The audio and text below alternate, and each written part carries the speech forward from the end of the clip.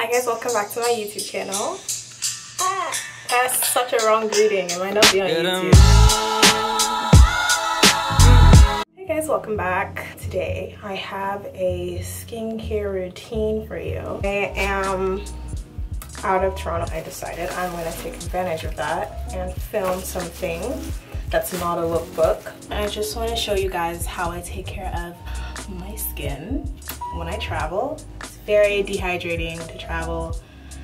We all know this, we all know this. Um, I just wanna start by saying that I already washed my face. This is something that I do in the shower. So I usually don't use this face wash, but like the rest thing I have a travel size version of and it's the e.l.f. Daily Face Cleanser. And I think it's from the hydrating line, but honestly, it's, it's not that. And to be honest, I still prefer my Kiehl's Ultra Facial Cleanser, but I don't have a travel size version of that. That's the next best thing. It's better than bar soap. So, I'm gonna pour some water over my face and then I'm going to tone, okay? Sometimes I wait for my skin to calm down, just a little damp and then I start putting everything, but I think I'm just gonna, because I need to trap all the moisture I can and stop transepidermal water loss today, I'm just gonna jump right in Favorite toner in the entire world is the Kiehl's, this is not sponsored, I swear. It is the Kiehl's Ultra Facial Toner, and I love this toner so much. This is 40 ml, which is a pretty good size. It has like a milky type of texture. It has squalene and a whole bunch of other stuff that's really hydrating. So I'm just gonna wait a little bit for it to sink in. And I usually put two layers. I use my fingers because I feel like cotton pads just drag on my skin. So the next thing I'm gonna put on my face to help support hydration is the amino acid plus B5 from The Ordinary. And this is 30 ml, so it's pretty good for you to travel with. But I'll just put like half of this over my face before all the water is gone. I just got it in my eye.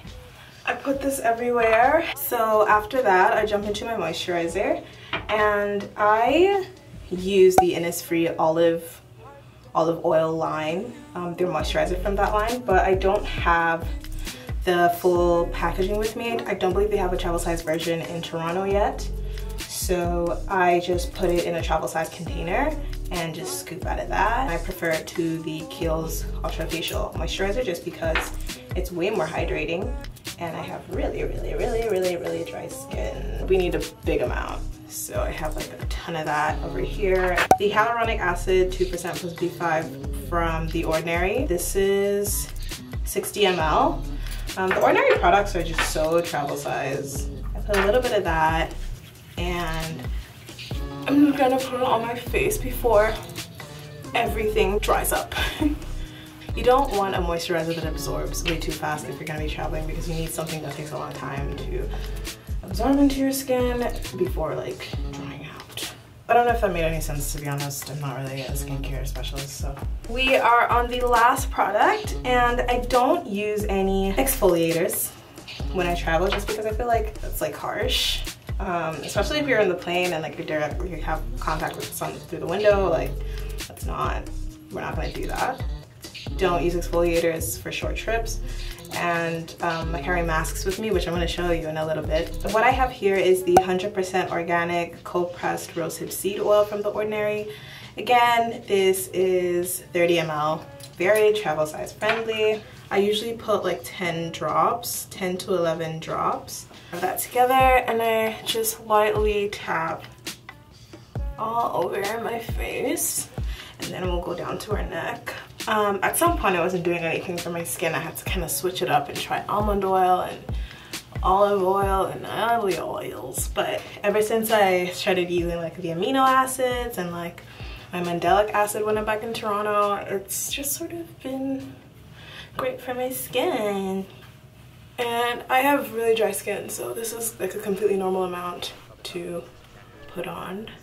In terms of like lip balm, stuff like that, I just carry the same set of lip balms with me. Doesn't really bother me once I find something that is good for my lips. I just sort of stick to it. I have the Innisfree Canola Honey Lip Balm, which I use just because it's always in my Kiehl's Ziploc anyway so if I travel it's just gonna be there. Moving on to mask. When you are traveling you definitely should take masks with you if you have dry skin because it's just so drying on the plane. I used up my sheet masks. Those are the best. I have this turmeric and cranberry seed energizing radiance mask.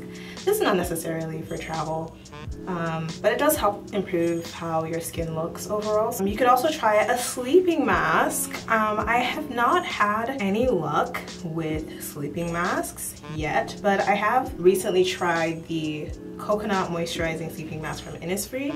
Um, doesn't work if you're going to any place that has winter, uh, but otherwise it's pretty good.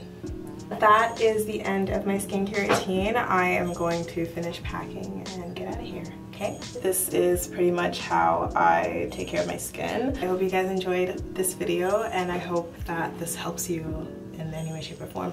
Let me know if you have any questions in the comment section and I will let you know if you need to know what products any of these things are, how much I got it for, if I got it in a set. A lot of travel size things that I have that are not from The Ordinary are purchased from a travel set by Kiehl's or by Innisfree or by e.l.f., you know, that type of thing. So let me know in the comment section and I will see you in my next video.